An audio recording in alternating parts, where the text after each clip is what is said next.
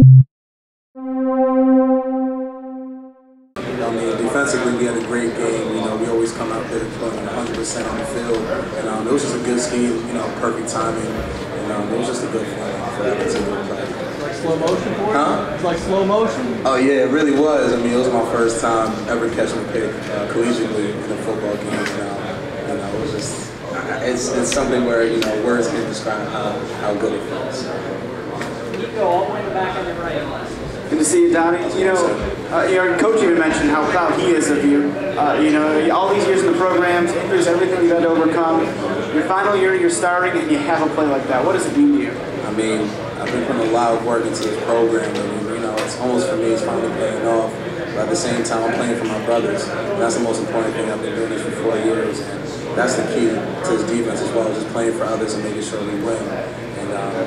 Yeah, I mean, it just feels great. You know, it was a great game, great for us, great team, and um, yeah, you know, it feels good. It feels good. First possession of the second half, you guys were on the field for a long time. You forced them to punt, and you were able to obviously pull ahead after that. Could you talk about that as the, uh, again, kind of the turning point of the game defensively? Um, defensively, I mean, you know, our game plan is always the same, just going out there and, you know, playing 100%. So, you know, we were just focusing on, you know, doing the, the right things as far as like schemes um, is concerned. And um, I feel like just having the right mindset was the most important thing. That was that was the main goal, was just having the right mindset and just go 100%. How important was that to keep them out of the end zone? Oh, very, very important, very important. That's always key.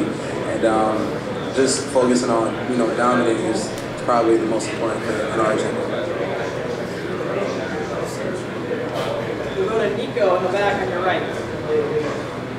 Yeah, just to kind of follow up my question earlier, obviously you're focused on the task at hand. Uh, In the game, you're focused on that next play, and now you're going to be focusing on Central Michigan. Yes, sir. Will there be a point when you, you know, when you look back and see what you've accomplished here at Syracuse and how the hard work that you had to put in, how it paid off this year? Of course, of course. I mean, you know, playing hard work is what it's all about. But um, moving, you know, week by week, we're, we're kind of just in the now. So, you know, whatever week we're in, we're always game planning for that next team that we're going to play. So right now, you know, we're going to watch the film and see the corrections that we have to make. But then it's all about, you know, moving forward in that Central Michigan.